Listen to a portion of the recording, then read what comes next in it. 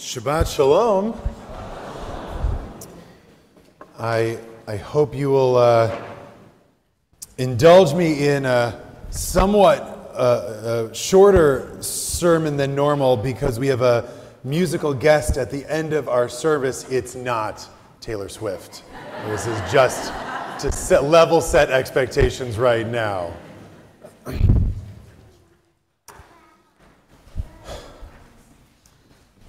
Shabbat Shalom. A hundred days is what it's been since October 7th. A hundred days of fear, of concern, of worry over our brothers and sisters who are being held captive, who are fighting to free those who are being held captive, of what's happening in Israel 100 days of concern over what's happening in our country here and where anti Semitism lives and what it's doing. And of course, it's been more than 100 days of that, right? We've been worried about what's happening in Israel since it started. We've been worried about anti Semitism in this country, though maybe not quite as acutely, forever. And we add to those worries a lot of other things that are happening in the world. There's weather patterns that essentially meteorologists are saying, I don't know, but get ready. There's storms, there's blizzards, there's rain, there's 60 degree days in January. We don't know what's happening, but it makes us feel nervous. Even if we don't know that it's doing it, the weirdness of the weather adds to our anxiety. What's happening in this country politically adds to our anxiety. What's happening in our world, in our own world, in the large world, adds to our anxiety. Add on top of that algorithms that put information in front of us, not based on what is the most useful information that we have, or what do we need to know, or what does an informed citizenry need, but what is going to make us the angriest. Because that's what we're going to click on and look at and retweet or share or re X or whatever it is that we do. It adds and it builds the anxiety that we're feeling. And in some ways, we've never felt like this before. Our generation hasn't really had to do the things that we are being asked to do, to uh, bring in the information that we're being asked to bring in. It hasn't come at us with this speed or ferocity ever before. And at the same time, we've been here before.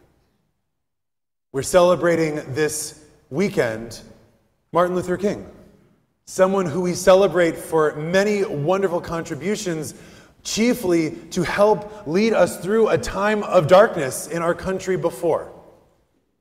We've known this kind of anxiety. We know what it can do to us. We know what it can do to our people. And we see it in the Parsha that we read today. Moses and Aaron are trying to bring the people along in this project of getting out of Egypt. They've done one round of talking to Pharaoh, and it didn't go well. And they come back to the people and they try to say, okay, guys, you know, this one didn't work, but we're going to do it. We can do it. And the Torah tells us that the people of Israel were not able to hear what Moses and Aaron were saying. Mikotzer ruach, because they were shrunken or short of spirit and soul. Mikotzer ruach, they were shriveled of their spiritual capacity because of the hard burdens that Pharaoh had put on them. And our classic commentaries wonder what is this kotzer ruach? What is this smallness of spirit? What could it possibly be? So Rashi gives us two answers. One of our traditional commentaries, he one physical and the other spiritual. Interestingly, already by the 10th century, he's linked to this connection between physicality and spirituality. And he says that on the one hand, kotzer ruach means that literally the Israelites couldn't take a full breath. They were so beset by their fear and by the labor that they had to do that they couldn't completely fill their lungs. What we would say today, they couldn't get to the bottom of their breath They were so stressed. And that's what it means when it says kotzer ruach. He also says that their spiritual view was what was shortened. And they couldn't see God working in the background of what was happening. And because they couldn't see God, they couldn't believe that God could be present in their suffering, they couldn't listen to Moses, this guy who claims to be sent by God, because they didn't truly believe that that was true. So Rashi sees this spiritual smallness as being both physical and also spiritual, unable to see God. A later commentary, Ramban says, no, Rashi, that's not right. They had no trouble believing in God. They believed in God, but it was painful to think about God. What does he mean? When he says it was painful to think about God, he says their souls were so damaged by the harsh treatment that they had. At that point, thinking about the idea of salvation was painful. That's a fascinating way of looking at human psychology. They were so oppressed, they were so uh, overburdened that thinking about salvation, thinking that there might be something better, was a hope too painful to bear. And so when Moses and Aaron came to them, they couldn't hear them. Lo, lo yacholim lishmo, it says. They couldn't, were not able to hear them because it hurt so much to believe that there might be something better out there. And Rashbam says that the Kotzer Ruach is a shortness of resilience. Basically, the people were, had it in them to believe in hope for a minute. And at the first sign of trouble from Pharaoh, they lost it and they just couldn't do it anymore. And finally, a later commentary, Sforno, says that the Kotzer Ruach, the smallness of spirit, meant that they couldn't believe in the audacity of God's plan and Moshe's plan. Moses comes to a generation of slaves and says, We're going to get out of here, guys, and we're going to go to a land full of milk and honey. And they, it was like aliens showed up and said, We're going to skip to the moon. They couldn't believe that it could happen. And Sforno draws a parallel here between the Israelites and Avraham. Right? Avraham, who's a great spiritual genius, Abraham hears, I'm going to take you to this land and it's going to be amazing and I'm going to make you a great nation and all of this stuff. And he says, Yeah, that can totally happen. Show me where to go.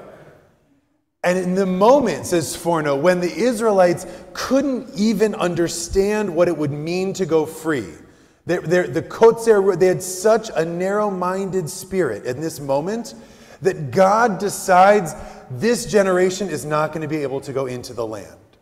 Which is interesting because other rabbis put that moment much later in this story. But Sforno says it happens right here. And God says basically, okay, I'm going to get this generation out of Egypt, but only their children who will have a bro- more broadness of spirit will be able to actually build something in the land. And as we look around the world today, I feel in myself a kotzer ruach as I work, as I doom scroll. Uh, if you don't know what doom scrolling is, ask someone younger than you next to you what that means, but you can get it from context clues. As I lose sleep over what's happening, I can feel my ruach shrinking, my ability to focus on the broader picture, my ability to believe in audacious goals and solutions to what's happening, my ability to even want to think about the fact that we could be better, that salvation could come, because it can hurt to hope. Now, I don't know if everyone else here feels that as well, but I'm the one talking, so. I think that this kotzer ruach is something that we all have to watch out for.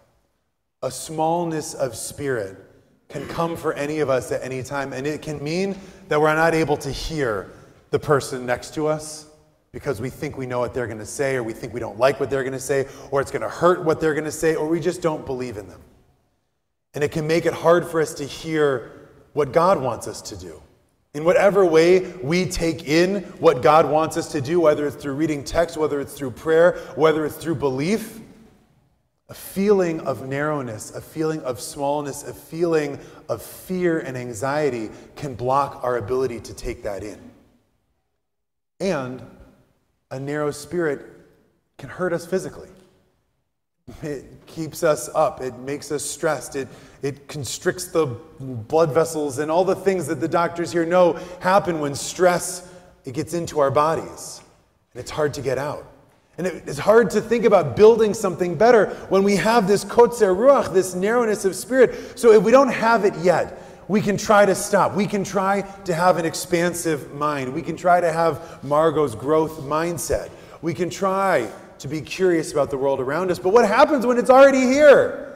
What happens when you've already got a narrowness of soul and spirit brought on by the horrible things that are happening in the world, brought on by the way in which we consume data and information? What do we do in this moment? Well, the rabbis offer two answers to this narrowness of spirit. One that comes from the Parsha and one from Maimonides later on. So, the Parsha, what's God's answer to the Kotzer Ruach? The people don't hear what Moses and Aaron are saying, they're not able to follow. And so, what does God do? God sends the plagues, not to the people of Israel. It's not a punishment on them.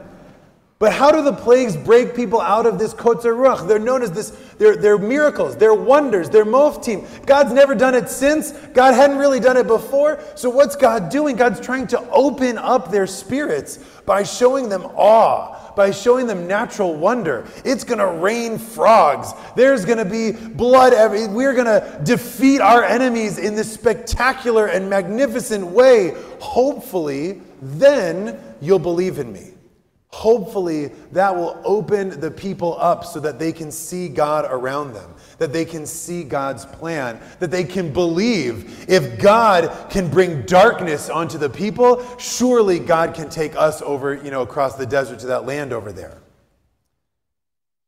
And that's a beautiful way to look at it. And it worked for the Israelites to an extent, although we see time and time again, their spirits didn't really open up all that much. And pretty soon, they found the narrowness again and they disbelieved in God. And then the cycle of disbelief and punishment and coming back begins for the people when they enter into the desert.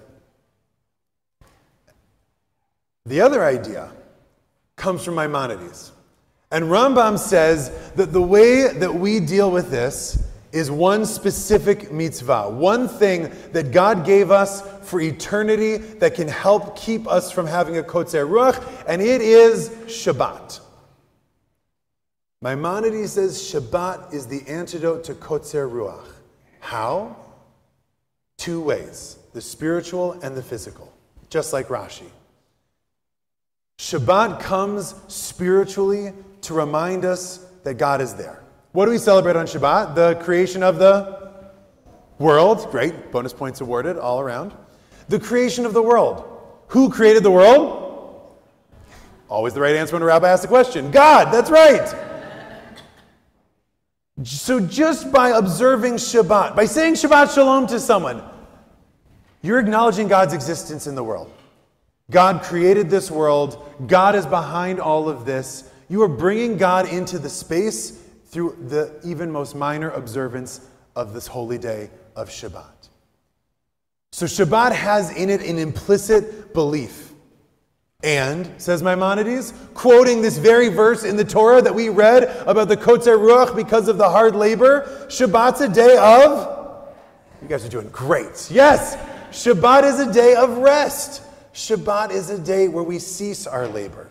Where all of those things that are oppressing us, that are keeping our spirit and our minds small because we're just trying to put one foot in front of the other and get to the next day, those things go away on Shabbat if we give ourselves a break. So Maimonides says, we've built into our system this inoculation against a small spirit. Shabbat. A little bit of belief, a little bit of rest. It gives us this chance to broaden our minds. So I'm going to ask us all, as we think about the harshness of the world, and there's a lot that's great in the world as well, but there's a lot that's not. And we see what's not more and more and more. And when that starts to wear on us, and we feel our spirit shrinking, and we feel our mindset shrinking, and we feel our ability to hope shrinking, take a Shabbat. Whether it's this Shabbat, next Shabbat, any Shabbat. Take a deep breath. Breathe all the way to the bottom of our lungs. Expand ourselves. Think of others. Think of the future. Think of the audacious goals that we have. Think of the divine plan that began when the world was created and survives all around us today. Today, we take that deep breath so that tomorrow we can act to bring salvation to the world around us. Shabbat Shalom.